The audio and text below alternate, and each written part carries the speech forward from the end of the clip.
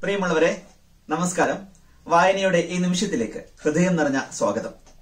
മലയാളത്തിലെ മികച്ച ഒരു ചെറുകഥയാണ് ഇന്ന് ഞാൻ നിങ്ങൾക്ക് പരിചയപ്പെടുത്തുന്നത്.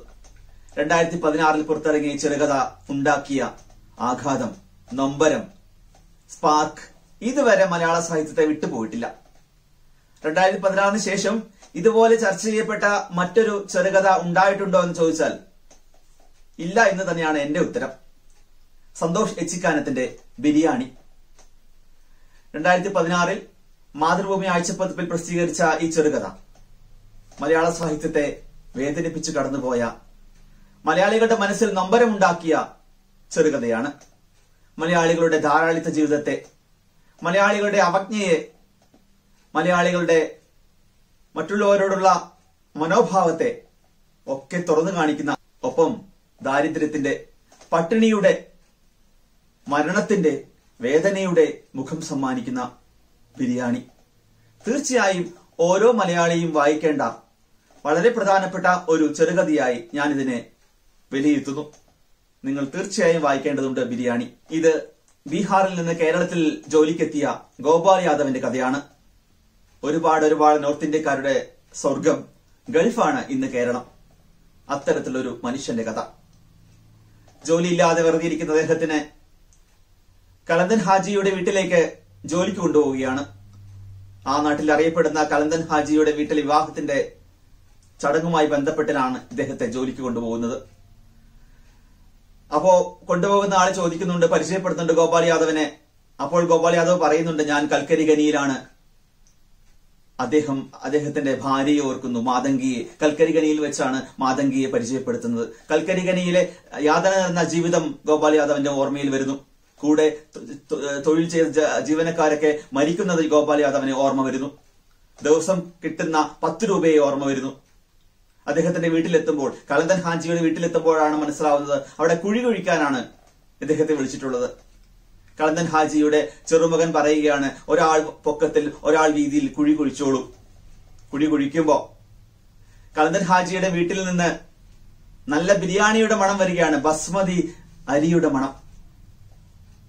ഗോപാൽ യാദവിന് വീണ്ടും തന്റെ ഭാര്യയെ ഓർമ്മ വരുന്നു മാതങ്കിയെ ഓർമ്മ വരുന്നു. മാതങ്കിക്ക് ആറുമാസം ആയപ്പോഴാ ആറു മാസം ഗർഭിണിയായപ്പോഴാണ് മാതങ്കിക്ക് ഈ ബസ്മതി അറിയോട് സ്നേഹം തോന്നിയത് ഇഷ്ടം തോന്നിയത്. കടയിൽ കണ്ടപ്പോ വാങ്ങിക്കാൻ വേണ്ടി ആവശ്യപ്പെട്ടു. പണമില്ലാത്തതുകൊണ്ട് ഒരു അമ്പത് ഗ്രാം ബസ്മതി അരി മാതങ്കിക്ക് വാങ്ങി നൽകുന്ന ഗോപാൽ യാദവ്. മാതങ്കി വീടെത്തുന്നവരെ ആ അരി ചവച്ചുകൊണ്ടേയിരുന്നു. കുഴി വെട്ടിക്കൊണ്ടിരിക്കുമ്പോൾ സെൽഫി എടുത്തുകൊണ്ട് ഇന്റർനെറ്റിൽ തപ്പിക്കൊണ്ട് സിനാൻ ചോദിക്കുകയാണ് എവിടെയാണ് താങ്കളുടെ സ്ഥലം? ലാൽ മാത്തിയ. ഇന്റർനെറ്റിൽ പരിധി നോക്കി സിനാൻ പറഞ്ഞു. അങ്ങനെ ഒരു സ്ഥലം ബീഹാറിലല്ലോ ഉണ്ടല്ലോ.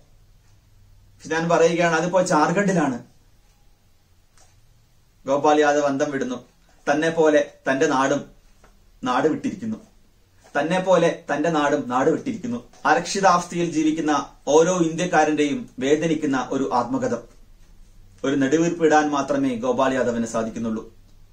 അദ്ദേഹം കുഴിയെടുക്കുകയാണ് ആവേശത്തോടെ. ഇത്രയും ആഴത്തിൽ കുഴികൾ എടുത്തത് കണ്ട് അദ്ദേഹം തന്നെ അത്ഭുതപ്പെടുകയാണ്. അപ്പോഴതാ കുറെ വീപ്പ നിറയെ എല്ലിൻ കഷ്ണവും ബിരിയാണി ബാക്കികളും കൊണ്ടേയിടുന്നു വീപ്പകൾ എണ്ണി ഒന്ന് രണ്ട് മൂന്ന് പിന്നെ എണ്ണാൻ നിന്നില്ല. പൊട്ടിക്കാത്ത ദം പൊട്ടിക്കാത്ത ബിരിയാണി പോലും കൊണ്ട് ഇടുകയാണ്. ആ ബിരിയാണി ചവിട്ടി അമർത്താൻ സിനാൻ പറയുകയാണ്. ആ ചവിട്ടി അമർത്തുമ്പോൾ ഗോപാൽ യാദവിന് അതിൽ നിന്ന് കരച്ചിൽ കേൾക്കുന്നു. ബസ്മതിയുടെ കരച്ചിൽ. അങ്ങനെ കേൾക്കുന്നതായിട്ട് തോന്നുന്നു. എന്നാലും മാതങ്കിയെ ഓർത്തുകൊണ്ട് തന്റെ ദാരിദ്ര്യത്തെ ഓർത്തുകൊണ്ട് ബിരിയാണിയെ ചവിട്ടി ചവിട്ടി അമർത്തുന്ന ഗോപാൽ യാദവ്. ഈ ചെറുകഥയുടെ അവസാന ഭാഗം വായിക്കാതെ എനിക്ക് ഇതിലെ വികാരം നിങ്ങളിലേക്ക് പകരാനാവില്ല. ഗോപാൽ യാദവ് കുറച്ചു നേരം മിണ്ടാതെ കുഴിയുടെ വക്കിൽ തന്നെ നിന്നു. ചവിട്ടി അമർത്ത് ബായി. സിനാൻ ഒച്ച വെച്ചു. മണി പതിനൊന്നായി. ഗോപാൽ യാദവ് കാലുയർത്തി. കിടക്കുന്നത് ബസ്മതിയാണ്. ചവിട്ടുപായി. സിനാൻ വീണ്ടും ഒച്ച വെക്കുന്നു ചവിട്ടി. നെഞ്ചത്ത് തന്നെ. ആദ്യം ഒരു കരച്ചിൽ കേട്ടു. പിന്നെ അതൊരു ഞെരക്കമായി. ഒടുവിൽ അതും ഇല്ലാതായി. ഇനി മൂടിക്കോ. വിയർത്തൊലിച്ച് കാൽപാദങ്ങളിൽ നെയ്യും മസാലയുമായി നിൽക്കുന്ന ഗോപാലിനോട് സിനാൻ പറഞ്ഞു ഒരു കൈക്കോട്ട് മണ്ണുകോരി കുഴിയിലിട്ടതും ഗോപാലിനെ കൂട്ടിച്ചേർത്ത് മൊബൈലിൽ ഒരു സെൽഫിക്ക് പോസ്റ്റ് ചെയ്തുകൊണ്ട് സിനാൻ ചോദിച്ചു ബായി ബായിക്ക് എത്ര മക്കളാ? ഒരു മോൾ. എന്താ പേര്? ബസ്മതി. നിക്കാഹ് കഴിഞ്ഞ? ഇല്ല. അത് കേട്ടതും മൊബൈൽ എടുത്ത് പോക്കറ്റിലിട്ടുകൊണ്ട് സിനാൻ പ്രതീക്ഷയോടെ ഗോപാൽ യാദവിനെ നോക്കി. പഠിക്കുകയാണോ? അല്ല. പിന്നെ? മരിച്ചു. മരിച്ച? വലിയൊരു ആഘാതമൊന്നും ഉണ്ടാക്കിയില്ലെങ്കിലും അങ്ങനെയൊരു ഉത്തരം സിനാനെ ലേശം തളർത്തി. എങ്ങനെ? അവൻ ചോദിച്ചു. വിശന്നിട്ട്. ഗോപാൽ യാദവ് ഒരു കൈക്കോട്ട് മണ്ണ് കൂടി ബസ്മതിക്ക് മേൽ കുത്തിയിട്ടു. പിന്നെ കുറെ ശ്വാസം ഉള്ളിലേക്ക് വലിച്ചെടുത്തു. ഗോപാൽ യാദവ് ഒരു കൈക്കോട്ട് കൂടി മണ്ണ് ബസ്മതിക്ക് മേൽ കോരിയിട്ടു. പിന്നെ ഒരു ശ്വാസം മുകളിലേക്ക് എടുത്തു ബസ്മതി എന്നത് സ്വന്തം മകളായിരുന്നു. വിശന്ന് മരിച്ച മകൾ. ഇന്ത്യയിലെ സാധാരണക്കാരന് എത്തിപ്പിടിക്കാനാവാത്ത ബസ്മതി അരിയെ ഇഷ്ടപ്പെടുന്ന മാതങ്കി. അതിനോടുള്ള ഇഷ്ടം കൊണ്ട് തന്റെ മകൾക്ക് ബസ്മതി എന്ന് പേരിടുന്ന ഗോപാൽ. ഒടുവിൽ ദാരിദ്ര്യം മൂലം പട്ടിണി മൂലം മരണമടയുന്ന മകൾ ബസ്മതി.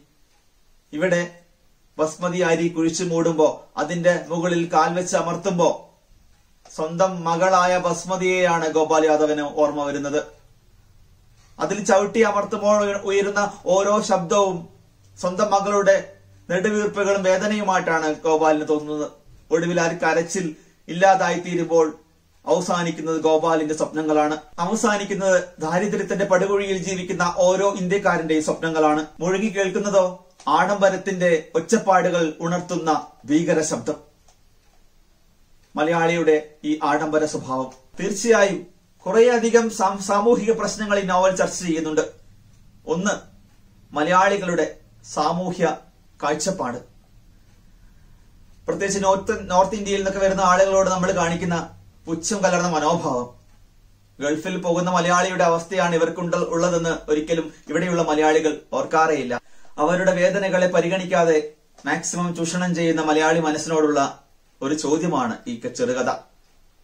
രണ്ടാമത് ചർച്ച ചെയ്യപ്പെടുന്നത് തീർച്ചയായും മലയാളിയുടെ ധാരാളിത്തമാണ്. ആഡംബര സ്വഭാവമാണ്. ഈ കാലഘട്ടത്തിലെ സാമൂഹ്യ പശ്ചാത്തലത്തിൽ മലയാളി സ്വന്തം സഹജീവിയെ മറന്നുപോകുന്നു. പട്ടിണിയുള്ള ദാരിദ്ര്യമുള്ള ഒരുപാട് മുഖങ്ങൾ നമുക്ക് മുമ്പിൽ തെളിഞ്ഞു വരുന്നുണ്ടെന്ന് ഒരിക്കലും നമ്മൾ ഓർക്കാറില്ല. അത്തരം മലയാളി മനസ്സോ മനസ്സുകളോടുള്ള ചോദ്യമാണ് ഗോപാൽ യാദവ് ഉയർത്തുന്നത്. തീർച്ചയായും മലയാളികൾ വായിക്കേണ്ട ചർച്ച ചെയ്യേണ്ട ഒരു ചെറുകഥയാണ് ബിരിയാണി. ഈ ബിരിയാണി എന്ന ചെറുകഥ ഇത്തിരി വിവാദം ഉണ്ടാക്കിയിട്ടുണ്ട്. ഏതോ വിഭാഗത്തിനെ താഴ്ത്തിക്കെട്ടാനാണ് ഇങ്ങനെയൊരു കഥയുണ്ടാക്കിയതെന്ന് പറഞ്ഞു. അങ്ങനെ ഒരു താഴ്ത്തിക്കെട്ടലോ അങ്ങനെ ഒരു വിഭാഗത്തിന്റെ ആഡംബര ജീവിതമോ അല്ല ഇതിൽ തെളിഞ്ഞു വരുന്നത്. ഇതിലെ വില്ലൻ വിശപ്പാണ്. ഇതിലെ വില്ലൻ ബിരിയാണി എന്ന വിഭവമാണ്. ഒരുപക്ഷെ മലയാളികളുടെ ധാരാളിത്തത്തിന്റെ ഒരു സൂചകമായി ബിരിയാണിയെ കാണാം. ആ ഒരു വിഭവത്തെ കാണാം. നാഗരികതയുടെ ആസുരതയിൽ നിന്ന് നാഗരികതയുടെ ആഡംബര സ്വഭാവത്തിൽ നിന്ന് മാറി നിന്നുകൊണ്ട് മനുഷ്യത്വത്തിന്റെ ഒരു സ്നേഹമുഖം കാണിക്കാൻ നമ്മളെ പ്രേരിപ്പിക്കുന്ന ചെറുകഥയാണ് സന്തോഷ് ചേച്ചിക്കാനത്തിന്റെ ബിരിയാണി.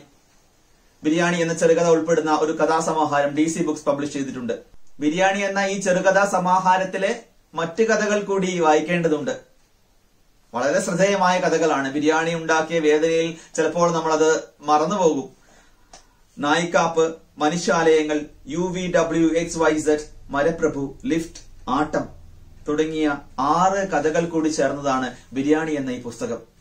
തീർച്ചയായും ഓരോ മലയാളിയും വായിക്കുക സന്തോഷ് എച്ചിക്കാനത്തിന്റെ ബിരിയാണി. ബിരിയാണി എന്ന ലളിതമായ കഥയുടെ അവസാനത്തുള്ള ഒരു ട്വിസ്റ്റാണ് നമ്മളെ ഞെട്ടിപ്പിക്കുന്നത്.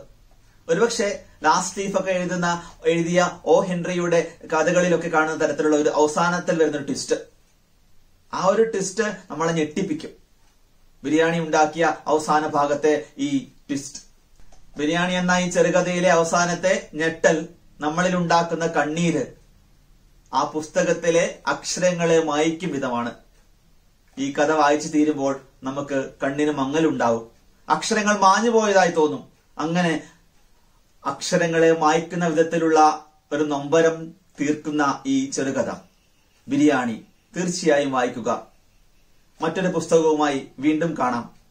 അതുവരയ്ക്കും നന്ദി. നമസ്കാരം.